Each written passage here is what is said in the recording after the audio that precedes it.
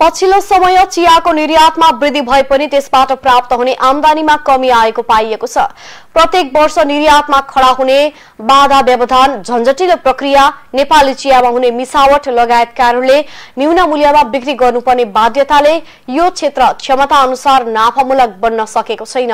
राष्ट्रिय चिया तथा कफी विकास बोर्डले उपलब्ध गराएको तथ्याङ्क अनुसार आर्थिक वर्ष दुई हजार सतहत्तर अठहत्तरमा एघार हजार नौ सय बिस मेट्रिक टन चिया निर्यात भई रु तीन अर्ब उनासी करोड एकहत्तर लाख कारोबार भएकोमा आर्थिक वर्ष दुई हजार अठहत्तर उनासीमा निर्यात वृद्धि भई बाह्र हजार चार सय चौरानब्बे मेट्रिक टन पुगेको छ कारोबार भने घटेर रु तीन अर्ब त्रिचालिस करोड त्रिचालिस लाख पुगेको हो बोर्डका कार्यकारी निर्देशक विष्णु भट्टराईका अनुसार भारत लगायत अन्य मुलुकमा चिया पाँच सय चौरात्तर मेट्रिक टन निर्यात वृद्धि हुँदा रु छत्तीस करोड अठाइस लाखले कारोबारमा कमी हो।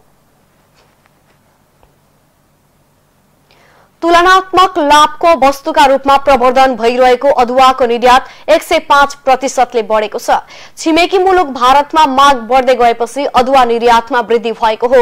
अन्य वस्तुको निर्यात घटिरहेका बेला स्वदेशी उत्पादन अदुवा निर्यात भने दोब्बरले बढेको हो।